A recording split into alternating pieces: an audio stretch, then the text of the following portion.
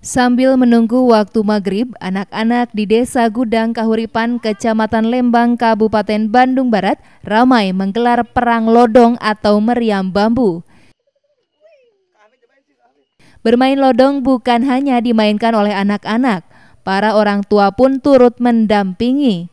Bahkan tidak jarang sebelum bermain lodong, para orang tua membuat lodong dari bambu pilihan agar suara lodong yang dihasilkan menggelegar.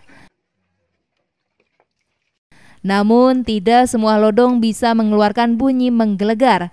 Ada kalanya lodong pun tidak mengeluarkan suara dan hanya mengeluarkan semburan api.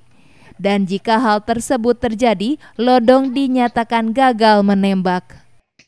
Main lodong. Lagi main lodong. Sama siapa aja? Sama orang tua, sama teman-teman juga. Eh, ini dalam rangka apa sih main lodong ini? Hmm, dalam Menuju menuju menunggu buka puasa. ya Ini udah sering dilakukan atau selama bulan Ramadan aja? sering. Jadi setiap bulan puasa sambil Ya. nungguin.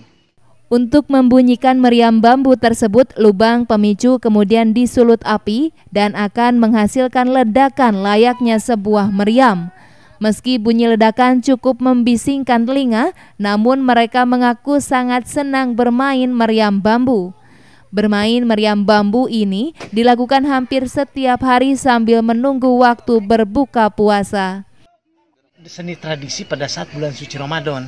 Jadi anak-anak ini eh, setiap mau menunggu atau mau pas eh, sahur, mereka melakukan kegiatan main lodong ini. Terutama pada saat mau berbuka puasa, mereka berbondong-bondong eh, memainkan eh, dan membunyikan lodong ini. Bermain meriam bambu alias lodong tujuannya selain ngabuburit juga dalam rangka mempertahankan tradisi permainan zaman dahulu kepada anak-anak.